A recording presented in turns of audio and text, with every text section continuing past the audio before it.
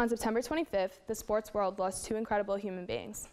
Arnold Palmer passed away at the age of 87 of heart complications. Through his career that spanned over five decades, Palmer won seven major championships, including the Masters four times, the Open twice, and the U.S. Open once. Nicknamed the King, Palmer served as one of the most iconic figures and one of the greatest ambassadors of the game. He was a, a successful businessman and course designer who will forever be a legend in the golf world. All of baseball was left both shocked and heartbroken by the tragic and sudden passing of Miami Marlins pitcher Jose Fernandez after being involved in a boating accident. At the age of 24, Fernandez was one of the game's biggest and brightest stars who made a dramatic impact both on and off the field since his debut in 2013.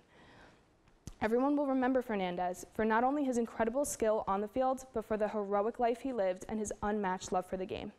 The charisma and passion he brought to the game of baseball is one that will live in the hearts of fans, teammates, and family and will never be forgotten. From everyone at the Extra Point, our hearts go out to both Arnold Palmer and Jose Fernandez's family and friends, as well as the Miami Marlins organization and the people both men have touched in their lifetimes. That's all for this week's episode of The Extra Point. As always, if there's something you'd like to hear us cover, reach out and let us know. I'm Tony Lynn Toronto, and until next time, we hope you get the point. Have a great night, everybody.